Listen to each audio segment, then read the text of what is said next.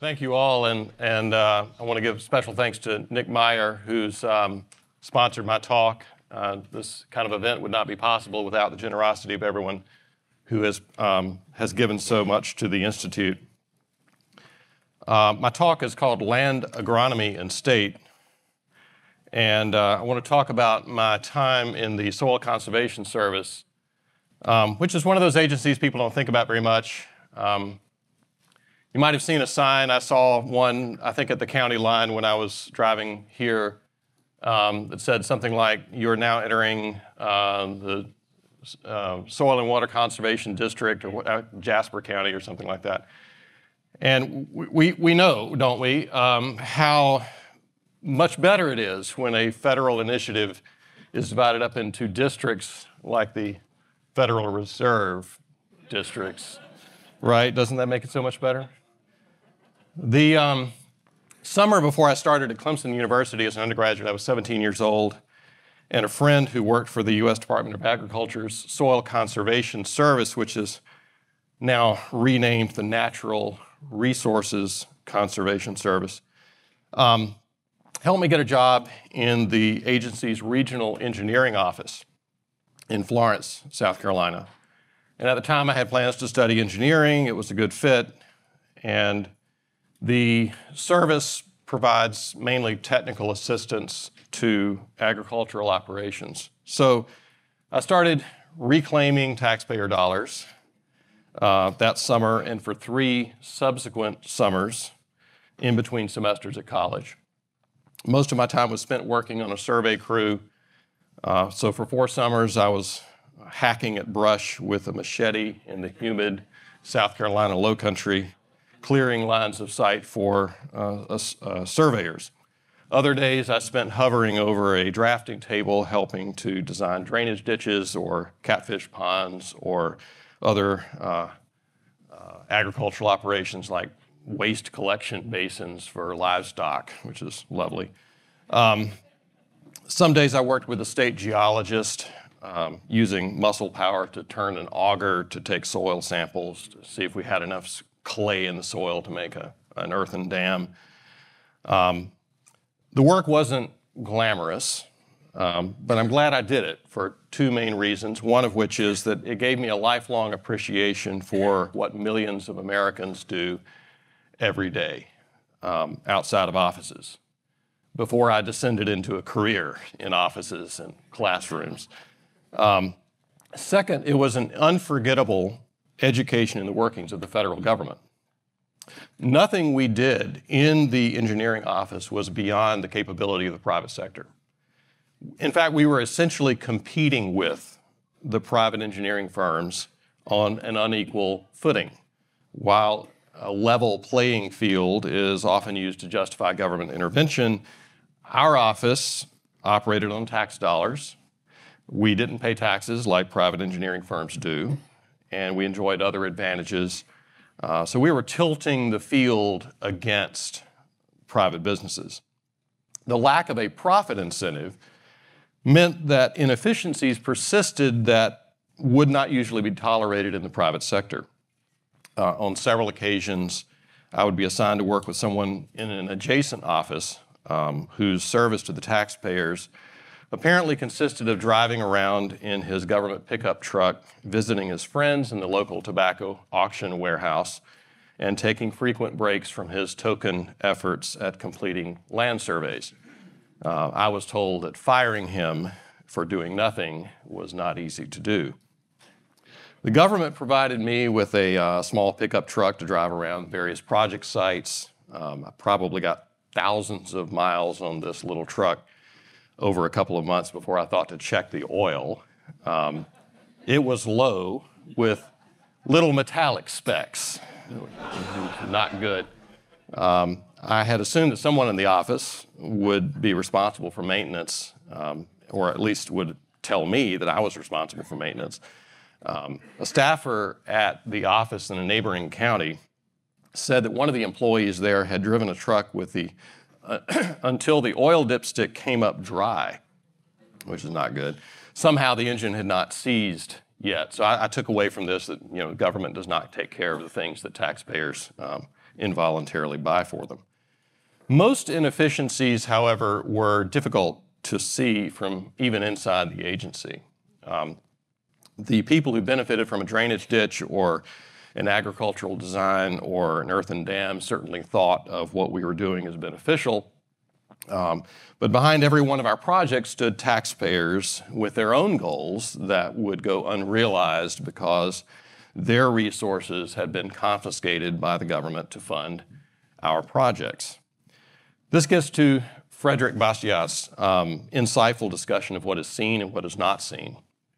While our design services certainly provided someone with a useful um, product, there was no way to be sure that the benefits exceeded the costs. Using tax dollars for our projects meant that we lacked any price information that would help us compare the, the two. We were facing Mises's socialist calculation problem. We had no way to know that the value of the projects was greater than the value that was lost by the taxpayers because the people benefiting from the projects did not have to bid the resources away from those who would be providing those resources. Uh, the resources were simply confiscated.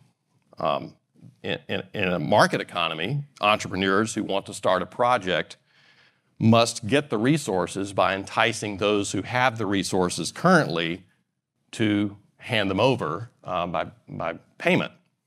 Um, and so the, that, that trade, that is only going to take place if the entrepreneur's assessment of the value of those resources is greater than the current resource owner's assessment of the value in their current use.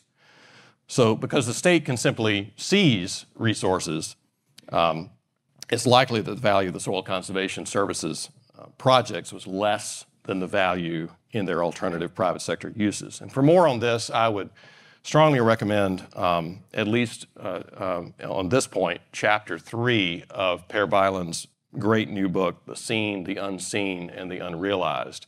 I encourage you to read the whole book. I'm using uh, his book in one of my classes on regulation, and it, it's, it's fantastic. Uh, once the projects that we were doing were decided upon, there remained the problem of deciding on the best production process. Uh, for every goal, there were, were several possible paths to that goal, which one was the most efficient. For mapping a field, uh, we could use old plane table survey equipment that was, um, you know, many, many years old, or we could use a high-tech total station device that was probably $10,000, um, along with a computer and the special printer and all of this kind of thing, uh, used as a, a, laser to generate a, a map, which, especially in the mid 1990s, was, was pretty amazing. Um, the older equipment probably was no more than a few hundred dollars, and and it did require different skills from the surveyors than the total station device did. Was it better to do, do the job more quickly, um, but maybe more expensively with the total station device, the kind of capital intensive method, or was it better to take a few extra days and use the more labor intensive process? Well, there's no free market pricing mechanism to indicate the value that the customers place on this on this um, on this process. We don't really know um, and so the Soil Conservation Service ended up having to just guess as, as to what was best. What did actually save us from worse errors in the choice of production processes was ironically the private sector. Uh, we could easily observe what private sector engineering offices were choosing to do as they did their surveys, and we could infer those are probably close to what we, we needed. The Soviet Union more or less pulled this off for the better part of a century for an entire economy uh, by observing prices and production processes in the more free market economies. They could find approximate solutions for their own economy, even though, as uh, we know, that that was horribly uh, insufficient. Um, and, and Soviet economic growth was, was stunted. The infor- information mooching that they engaged in eventually caught up with them. Um, I, I, strongly recommend um, uh, a book by E.C. Pasour um, on this called Agriculture in the State. It's an older book, but it's got some great insights on some of this if you're interested in, in state intervention in agriculture in general. And he obliterates some of the common arguments for federal soil conservation programs. He reminds us that farming is an entrepreneurial endeavor. He said, Conservation involves capital investment, and the conservation problem is one of choosing among alternative patterns of resource use over time, setting the most um, profitable rate of resource use is an entrepreneurial decision and is necessarily based on a subjective assessment of uncertain future conditions. Whether it is economic to conserve energy by insulating the walls of a house, for example, depends on, on heating costs over time and insulation costs, both of which are uncertain. And later he says, the success of U.S. agriculture over time is evidence that farmers are knowledgeable and competent entrepreneurs. The increasing productivity of cropland per acre in the United States suggests that farmers do not lose their entrepreneurial ability in investment decisions about soil resources. In contrast, government is politically driven incompetency. Uh, Pasour said, a national conservation program is likely to be a model of inefficiency. Soil erosion that is economically important occurs on particular farms in specific locations, and a small percentage of the total amount of land and crops, pasture, range, and forests is affected. Yet the SCS provides funds and services to all parts of U.S. agriculture. Why does the SCS spend funds in counties with few, if any, erosion problems? These decisions are basically dictated by political rather than economic considerations. Members of Congress have an incentive to provide jobs and federal spending in their own legislative districts, regardless of whether such expenditures are economic. Now, some people have argued that there's a legitimate role for an agency like the National Resources Conservation Service, and one of those is based on this uh, ver- version of this public goods um, argument.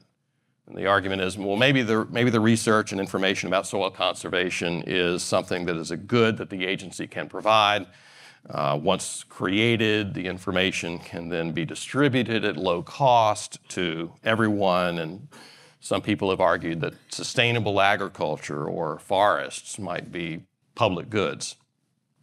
But um, there, there's some as you might guess, some pretty serious problems with this. One of these is that the information can be dead wrong.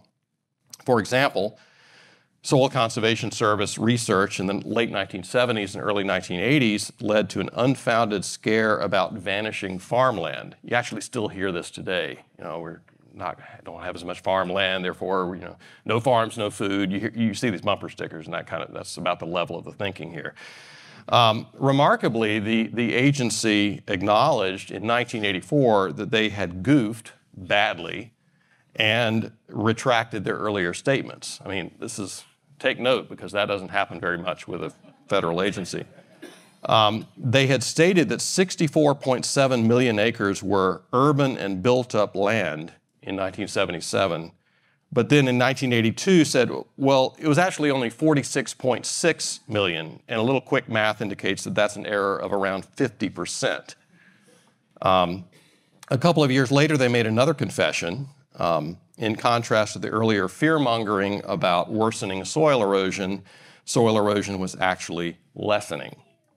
Furthermore, research and information are not unqualified goods. Often government agencies make mistakes and foist a project on us that does more harm than good. In the South, one does not have to go far to see evidence of one of the more pervasive and persistent errors of the Soil Conservation Service kudzu. Kudzu was initially imported from Japan in 1876 for a Philadelphia gardening exposition, but received a less than enthusiastic response. Uh, it didn't become the plague of the southern countryside until the mid 1930s when the Soil Conservation Service grew 70 million kudzu seedlings and began paying farmers $8 an acre to plant it in erosion prone areas. It rooted very well in eroding soil and then fanned out from gullies and fields to cover anything in its path. trees, fences, utility poles, buildings, and some say slow moving livestock. Kudzu grew to cover an estimated 7 million acres in the southeast, an area about one third the size of this state. Eventually, the Department of Agriculture recognized that they had perhaps chosen a cure that was worse than the disease and took kudzu off the acceptable ground cover list. Well, that's a start. By 1970, the government realized that it had nur- nurtured a monster and called it a bad weed and then in 1997, kudzu was placed on the federal noxious weed list. The whole erosion concern that was behind the creation of the Soil Erosion Service in the 1930s and then the Soil Conservation Service was itself in part the product of government. The Homestead Act limited land claims to 160 to 320 acres when the Great Plains were settled, but economists have noted that this small size contributed to farming techniques that led to the erosion of the Dust Bowl period. Depression era conservation programs, such as the one that gave us kudzu, were at least partially aimed at reducing the amount of productive cropland. But the Soil Conservation Service nicely dovetailed with the Roosevelt administration's plan to bail out farmers by raising the prices of crops. And this legacy continues. There are programs I won't go into here, uh, uh, Conservation Reserve Program and, and others that basically the effort is to reduce the amount of land that is farmed, driving up crop prices and supposedly helping farmers. We know that soil conservation has never been the exclusive domain, domain of government. We've had you know, crop terracing for millennia. Um, historically, the private sector has done a far better job. We can see examples like the railroad magnate James J. Hill, who paid agronomists to do soil studies along the route of the Great Northern Railroad and promulgated all of this research for free to farmers, uh, paid farmers to, um, to do things that were beneficial in, in um, federal in, in conservation. Whereas the federal conservation efforts um, were criticized by Hill as being um, slow, cumbrous, and costly, as he said. If you would like, I can point you to a recent example of some of that cumbrous NRCS uh, bureaucracy at work persecuting an Indiana farm family for allegedly destroying a wetland, a wetland which never existed. Uh, I don't have time to share the details now, but I'll email it to you if you're, if you're interested. The contributions of people like James Hill have been almost totally forgotten. Instead, we tend to trust in government to save us from erosion and wetlands destruction. This has resulted in immense damage. Um, some of those harms are highly visible. Other costs, like the foregone projects of countless taxpayers, uh, remain unseen. Uh, yet, this is the legacy of government bureaucracies like the National Natural Resource Conservation Service. They start out with an apparently benign purpose, expand vigorously and indiscriminately, take over all resources within their reach, and choke out their competition. It seems fitting that they should be associated with kudzu. Thank you.